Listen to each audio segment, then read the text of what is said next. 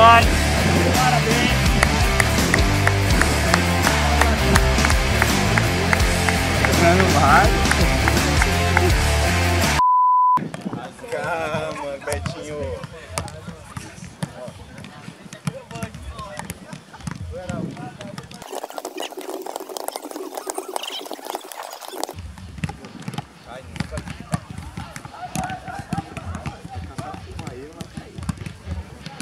Bateria vai descarregar aqui, pô.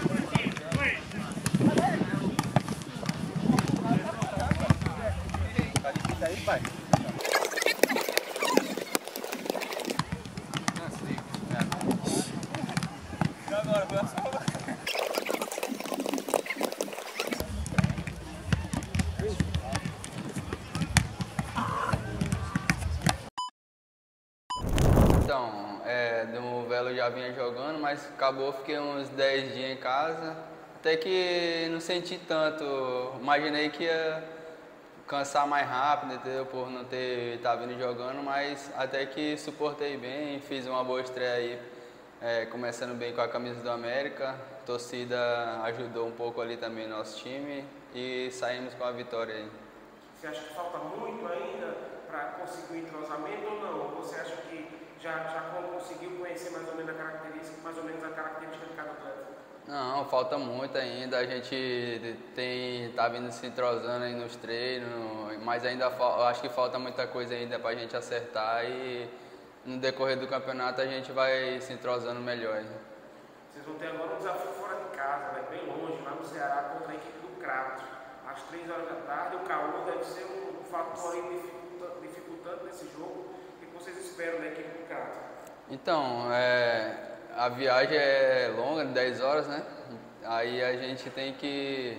Tipo, a, a equipe deles não conheço muito, mas fora de casa a gente tem que mostrar o mesmo desempenho jogando em casa, mesmo que não saia com a vitória, mas que não venha a derrota, né? Mesmo somando um ponto já tá bom demais.